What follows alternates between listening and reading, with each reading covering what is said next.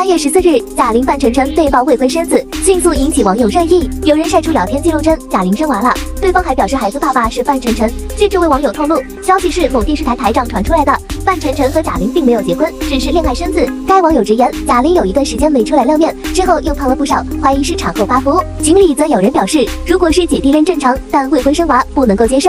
对此，很多网友直呼太过离谱，还有人直言我更想知道。这样的消息真的会有人信吗？或许范丞丞看到了他和贾玲的绯闻，他发了一张自拍照，并配文把嘴闭上，疑似回应网上的传闻。有网友调侃，贾玲看到这个消息，估计半夜会笑醒。终于有花边新闻了。与此同时，有粉丝透露贾玲目前正在拍戏、怀孕生子的消息是假的。说起来，贾玲这段时间确实又胖了不少，但怀孕生子估计不太可能。不过贾玲确实有一段时间没有现身，但传出怀孕生子确实很离谱。既然范丞丞已经否认了，大家还是谨慎吃瓜吧。对此你怎么看呢？